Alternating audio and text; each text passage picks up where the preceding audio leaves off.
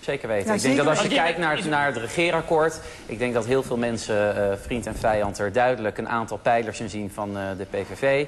op het gebied van immigratie, integratie. Want wat is de reden voor jou geweest om op de PVV te stemmen? Nou, ik, ik maak nog heel veel mijn verhaal. Ook op het gebied van ouderenzorg. Een heel belangrijk punt van, uh, van de Partij van, voor de Vrijheid. Ik denk dat dat ook duidelijk iets is wat in Nederland erg nodig is. En wat nu pas wordt aangeraakt. Mijn reden om op de PVV te stemmen is heel simpel. Ik denk dat ehm, de politiek 30 jaar achterloopt bij uh, wat het volk denkt. Ik, je, ziet al in de jaren, je, zie, je ziet al in de jaren 80 dat er op Janmaat wordt gestemd... omdat er sociale onvrede is over de komst van uh, nieuwe Nederlanders. Je ziet later in de jaren 90 dat Frits Bolkestein waarschuwt... voor de vele problemen die zich in de samenleving uh, uh, plaatsvinden. Je ziet later een Fortuyn het zeggen, Theo mm -hmm. van Gogh, nu uh, nou ja, nu een Wilders. En iedere keer weer, en dat hoor ik ook nu daarnet, en daarom heb ik braaf mijn mond gehouden... is de boodschapper altijd weer de schuldige. En al deze mensen die gaan vooral voorbij aan de boodschap. En dat vind ik heel erg jammer, want ondertussen is de gewone burger op de straat... die is geen, geen snot verder gekomen met deze hele discussie. En de problemen worden gewoon met een grote boog omheen daar gelopen. Heeft, daar heeft deze meneer helemaal gelijk in. In die zin heeft hij daar gelijk in... Uh, heer Wilders die heeft eigenlijk de problemen heel makkelijk en heel snel uh, weten te benoemen. Hm. En daar heeft hij eigenlijk daarmee ook de heel veel kiezers naar zich gebonden. Niet alleen maar omdat het uh, de, de, de, islam en de, de moslim benadeling, CQ, allerlei hoek wil instoppen. Ik geloof niet in dat dit land aan Wilders anderhalf miljoen stem heeft gegeven... puur omdat ze tegen de islam of, of, of de religie zijn. Het is ook, het is ook, kijk, terwijl dat eigenlijk de gevestigde partijen, waaronder ook de CDA... veel meer bezig was met het oplossing van een probleem... En veel te laat over gepraat veel, heeft. Dat en, heeft u en, eerder al gezegd. eigenlijk niet ja, echt goed duidelijk maakt u net al. Kees van den Berg? Maar dat was ook mijn probleem, dat nu het CDA ja, met, met alle graagte uh, zeg maar het kabinet... Uh, de kabinetsbankjes opzoekt. Omdat juist het CDA is gewoon gehalveerd. En heeft heel veel mensen als kiezers verloren. Ook, uh, ja, ook in, in Limburg uh, helaas. Ja, en ik, ik, omdat ik, we geen heldere agenda hebben ja, gehad. nee, maar, niet op integratie ja, precies, maar, thema's hebben benoemd. We ja, precies, het maar, maar, Laat Kees van den Berg even. Even, even luisteren. Laat Kees van den Berg even uitpraten. Ja, nee, maar, ik, maar, maar verloren aan de PVV wil ik ja, precies, precies, Ja, maar, precies. Maar nu wordt, uh, nu wordt de lijn uitgezet om, die, om weer in contact te komen met die groep... door samen te werken met de PVV. Terwijl ik denk dat uh, het CDA moet gewoon zelf aan de slag... om weer in contact te komen met het volk wat het, uh, wat het niet Nou meer aan, aan kan binden. En ik zou graag aan mijn buurman uh, wi- willen zeggen... Van als directeur van het CDA in, in Limburg... maak daar een programma van om ook te zorgen... dat uh, de leiders van het CDA weer in contact komen met de gewone kiezers.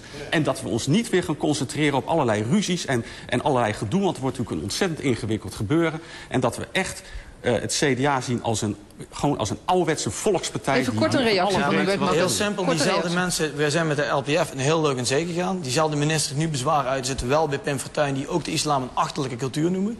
Er zijn gewoon in 2002 een aantal problemen, en eh, eh, meneer Boester noemde het net ook al... die zijn niet goed opgepakt, want niet zoals meneer van GroenLinks zegt... er zijn gewoon problemen, frictie met integratie... en daar lopen heel veel mensen naar de PVV over omdat hij niet benoemd wordt. Het heeft niet alleen met de islam te maken. Het heeft gewoon met overlast van buitenlanders en vooral Marokkanen. Mag ik het beestje best bij uh, naam alle noemen. mensen met een allochtone Overlast. afkomst. Buitenlanders, Nee, nee, nee, Zijn, nee. dat- buitenlanders zijn mensen van de Ja. eerste generatie die vanuit het buitenland Ja, komen. ik- de definitie is heel nou, mooi. We gaan is wel belangrijk hoor. Is wel belangrijk. Daar, wil ik een, daar verwacht ik ook meer van. u. heel veel. Ik verwacht meer van u. Hubert, Hubert heeft het woord. Ik verwacht meer van u, meneer. Jongens, even een punt maken? even niet allemaal door elkaar. Hubert heeft het woord. Mooi groen kleed, maar ik wil even een punt maken. De hele reden, daar gaan we voorbij. dat, eh, dat is ook, je ziet er als een vee uit. Maar wat het om gaat is eigenlijk, want daar, kan meneer ook voelbaar. Ik kom maar gewoon in een klein dorp in Nederweert en daar heeft gewoon een derde de PV gestemd. Dat heeft er gewoon te maken dat die een aantal zaken in overlast zien die niet opgepakt zijn. En als je, integra als je integratie... Jongens, luister mag ik even naar een punt elkaar. maken? Als je ja, meneer van GroenLinks, mag ik even mijn punt maken? Want u doet wel even het CDA afgaan, maar u bent gewoon niet lid van het CDA. Nee, maar- maar- Mag ik mijn punt even maken? Ja. Nou, doe het dan. En dan zou Ja, ik op jou reageren. Waar het gaat is, je, als je zeg maar, de zaak goed in de hand wil houden... als je wil een tolerante samenleving zijn... dan moet je enerzijds kansen kunnen bieden, maar ook grenzen stellen. En dat hebben we veel te weinig gedaan in dit land. Oké, veel te weinig gedaan en hebben we het. CDA gewoon laten leven. Hannes, Dat, dat is nou een, een van mijn hele grote zorgen. Ik heb heel lang in de omgeving van Zeeland gewoond. Hele kleine dorpen. Ik kom zelfs in mijn familie mensen tegen die ik dingen hoor roepen over buitenlanders waarvan ik me doodschrik. Terwijl ik weet dat het in de hart hartstikke goede mensen zijn die eh, voor iedereen behulpzaam zijn. In een klein dorp, er woont bij ons één buitenlander wonen er in het hele dorp. maar het heeft puur te maken Dat met iemand soort- in, Rotterdam-Noord, ben ik wel eens doorgereden... dan kan ik me nog iets voorstellen. Als je daar woont, in sommige Maar is dat dan de angst? willen de mensen Is dat nu, even afmaken. is, Hannes, Maar- is dat de angst die jij nu hebt, nu deze dat is mijn coalitie grote komt? angst van waar komt die voeding? Ik heb namelijk het idee, nee, ik wil nog een paar ja. dingen zeggen. Ten eerste zeg ik tegen jou, over, over 10, 15 jaar is er een moslim minister-president. Daar zou je het mee moeten doen. Die integratie in Nederland, die gaat door. En, en zolang dat iemand is met goede intelligentie en vakkundigheid... chapeau, mag die van mij. Ik geloof nog in de multiculturele samenleving. En nog. Letterie, jij ook nog? Ja, van- absoluut. Ik geloof daar van harte in. Mag ik Ja, nog eens en even... dat heeft het woord, jaren jongens. Heel even, Laten we, elkaar, laten we nog eens even met elkaar kijken hoe een metafoor werkt. Hè? Moet je je voorstellen dat je een auto hebt. Voorin bij het stuur, daar zit Rutte. En die moet zijn aandacht bij de weg houden. En die heb je nog van mij niet gehad. En aan de rechterkant, hè, daar moet dan eh, Maxime Verhagen zeg maar, aan die knuppel eh, wat te doen. En dan achterin zit eh, meneer Weert Gilders. En dan gaat dat raampje aan de voorkant open. En dan roept Maxime, ja, hij zit er wel, maar dat geeft niet. En dan gaat het raampje aan de achterkant open. Vod koppentax. Of dan was het kop voor de tax. Dan gaat het raampje aan de voorkant open. maar ik- Dan is ook stop ik er zo mee. En dan, dan zegt, zegt Maxime, dat geeft niet. Hij weet het niet zo goed. We gaan Punt. gewoon door. Paul en Letterie, dat punt. vier Ja. jaar lang. Oké, punt is duidelijk. Waar ik even naartoe en wil... vier jaar lang. Ik hoop dat ik duidelijk. Ik vind het wel Waar een ik nu heel naartoe wil... Ja, meneer mooie Kaptan, dat begrijp ik. Ik ga even kijken, want dat is wel het toekomstplaatje van wat Paul Letterie schetst. Feit is dat dat rege- regeerakkoord in ieder geval leeft. Dat het er waarschijnlijk ook gaat komen. Eh, Mark Rutte heeft dat natuurlijk ook gezegd. We gaan het door middel van eh, eh, kracht gaan we deze crisis aanpakken. Dus dat is duidelijk. De vraag is alleen, als je kijkt hoe de angst hier is voor de verdeeldheid en eh, onverdraagzaamheid, hoe het land er dan over een aantal jaren uit gaat zien. Voor de een die heeft een toekomstscenario, een horrorscenario. Jolanda, hoe ik vraag even aan Jolanda. Hoe denk jij dat het ons land er over vier jaar uitziet? Want bij jou is juist de vlag uitgegaan dat dit er eindelijk Nou ja, de komt. vlag uitgegaan. Ik, eh, ik had natuurlijk liever gehad dat de PVV ging regeren. Maar ja, er was geen één linkse of welke partij dan ook die met hun wilde regeren. Dus ze zetten dan al anderhalf Ja. miljoen mensen Maar hoe, hoe kijk jij Maar nu ik- tegen de komende Nou, jaren aan? Wordt het wij weer jouw land voor je gevoel? Of? Eh, ik ga het hopen.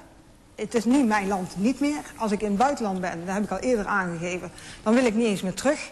Want dan denk ik van... De, niet alleen, ik heb het niet over moslims en zo, hoor, maar gewoon heel de samenleving is verhard gewoon. Alles. Polen, Tsjechen, Russen, eh, eh, Roemenen, alles. Maar Nederlanders ook? Zijn die ook Ja, harder zeker. geworden? Als je toch ziet, die meneer ook. Die zegt dat wij gekken zijn. dat ze over zichzelf Die meneer. Dat wij, ja, dat wij gekken zijn. Waarom? Omdat wij op de PVV gestemd hebben? Heeft, ik Jawel, heb het niet zeggen, maar... net wel. Ik Ja, heb het dat woord gek. Ik heb het woord gek niet in mijn mond Nou, ieder Maar je bedoelde niet helemaal wel. goed... Nou, het is natuurlijk, ik begrijp in die zin Ja. jouw punt... dat eigenlijk hoe er, wat jij de PVV verwijt... hoe ze over de moslims praten... Zo praat jij eigenlijk nu over, noem ik even... Hè, Ja. Henk en Ingrid Ja. van de PVV, oftewel Ja. Jolanda en ja, Peter. dat vind ik ook. U, u, u discrimineert Ik mij. nou ja, dat mag dan misschien wat mij betreft ook nog wel. Het gaat, zie, erom, dat bedoel ik. Het gaat erom Dit is hoe de ons land in de komende vier jaar er tegenaan staat. Eh, Als ik tegen mijn... Uw vrouw heeft ook een, eh, een, eh, een ding op zijn hoofd, weet, een, een, een hoofddoekje. En u vindt het hartstikke normaal dat ik ga zeggen... joh, dat- joh kop van de en dat is allemaal niks, joh. Dat Nee, die kopvolle taxi hebben we nu gehad, Nee, maar het, het gaat erom dat dat soort dingen gezegd kunnen worden. En we vinden het als CDA, met die C, hartstikke normaal. Maar die verharding waar Jolanda het Maar over heeft, Anne, herken jij die? Nee, maar dit is niet waar wat die Even meneer Anne zegt. Meester heeft het woord. Ja. U was aan het woord, sorry. Ja. Ik herken die zeker. Ik ben naar Nederland gekomen toen het nog een land was eh, van soort mogelijkheden en, en, en idealen. Ik denk dat Nederland nu vooral een land is van onmogelijkheden en beperkingen. Maar waar gaan we dan naartoe de komende jaren? Dus Ja, en dit is dus op niets uitgelopen. De grote partijen die hadden dan hun les moeten leren, hebben ze niet gedaan. Helaas, En helaas. de PVV biedt helaas geen alternatief. Alleen maar schreeuwen vanaf de zijlijn zal niks oplossen. Alleen maar het bestaande beleid eventueel saboteren zal, zet geen zoden aan de dijk. Maar hoe kijk Dus je, dan denk- zit ik me af te vragen, want jij bent hier nu eh, zes jaar, hè? bij de Appel ben je directeur, het kunstencentrum in Amsterdam. Blijf jij dan hier? Want jij bent geen, geen Nederlander, je hebt Ik geen heb ook Nederlands geen paspoort. stemrecht, wat heel jammer is. Ja. En ik maar, ben geen moslim. denk je dan, weet je, ik eh, ben weg hier. Ik denk vluchten is geen optie. Nederland is nog steeds, was ooit een gids, gidsland. Was een land waar we onder andere van het België naar opkeken. Nu denken we dat het ondanks de rommelige politiek in België toch stukken beter doen. Want je kunt niet zomaar... eh, Nederland is bezig met soort de basisprincipes van de de- democratie. Eh, Daar wordt hier nu aan geknaagd. En dat, dat vind ik zo onvoorstelbaar dat iemand die eigenlijk haat als zijn voornaamste agendapunt heeft. Los van het feit, hij wil goede dingen voor de zorg, maar dat doen wel de linkse partijen ook. Mag ik Je mag even alsjeblieft uitpraten. Eh, Geert Wilders wil ook goede dingen, maar dat, dat deel van zijn programma vind je bij links. Dan kunt u gerust links stemmen. Ik hoop dat ik een En keer iets mag zeggen, want het is nou eenmaal de vier keer. Meneer, mag ik even uitpraten? Ja, maar even een punt maken dan. Ja, zijn grote agendapunt is haat. En we weten niet hoe je haat kunt bestrijden. Dat is bijna zoals het ebola-virus of zoals SARS. Daar is geen medicijn tegen. En haat vernietigt fundamenten. Peter, reageer. Die, hoe krijg je die haat? Die wordt alleen maar ge- gevoed door de mensen die hem verkeerd citeren. Wilders is helemaal niet zo hard. Wilders heeft nooit gezegd van ik wil de Koran verscheuren tot de dikte van Donald Duck. Hij heeft, oh, hij heeft, mag ik ook een keer? Hij heeft letterlijk gezegd, als zou ik er alle haatdragende citaten uithalen, dan blijft hij zo dik als Donald Duck.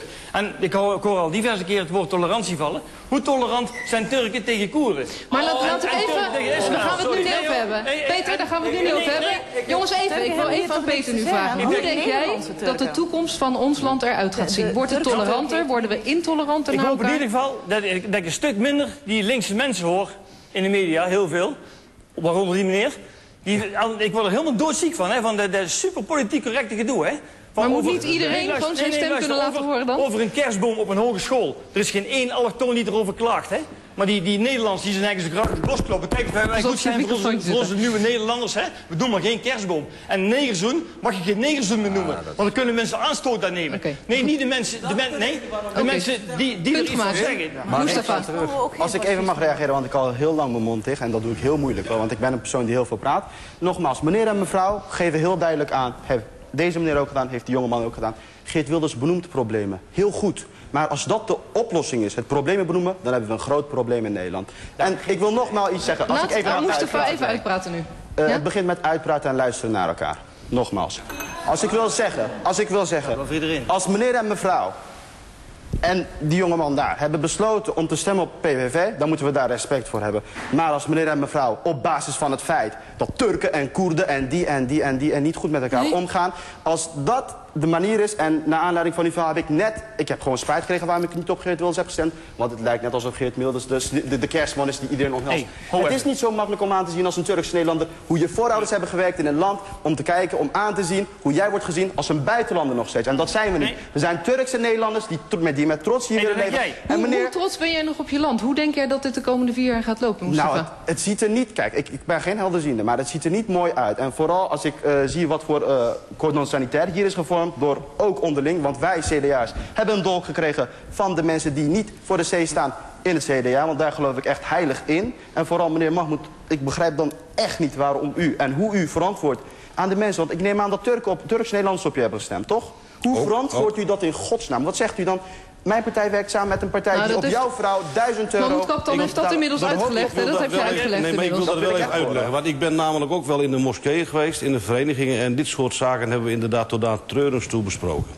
En dan komt men tot de ontdekking dat je eigenlijk niet weg moet lopen van je verantwoordelijkheden. Niet mensen uit moet sluiten en met elkaar moet, moet praten. Want anders weet je niet waar het eigenlijk eindigt.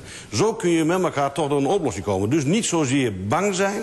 En ik denk ook naar de toekomst toe moeten we niet de angst volledig van, van welke kant dan ook maar accepteren. Laten we maar gewoon, want Nederland en ook de mensen die daarin wonen. En de democratie Ja, is dermate maar. sterk genoeg de- dat we daar wel tegen kunnen. Oké, die oplossing eh, helaas gaan wij vanavond niet bereiken. Ik zie nog iedereen met zijn handen in de lucht zitten. Maar oplossing gaan wij helaas niet eh, redden vandaag. Want eh, rondom tien zit erop. Dinsdag dan neemt het CDA een definitief besluit over het regeerakkoord. Drie kwartier gaat snel, helaas.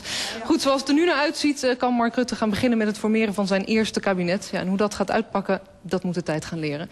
Vanavond hebben we in ieder geval mensen gehoord met hoop, maar zeker ook met zorg voor de toekomst. We wachten het af. Dit was Rondom 10. Als u meer wilt weten, ga dan naar onze site rondom10.ncrv.nl. We zijn de volgende week zaterdag weer. Tot dan, fijn weekend en hier ook iedereen bedankt.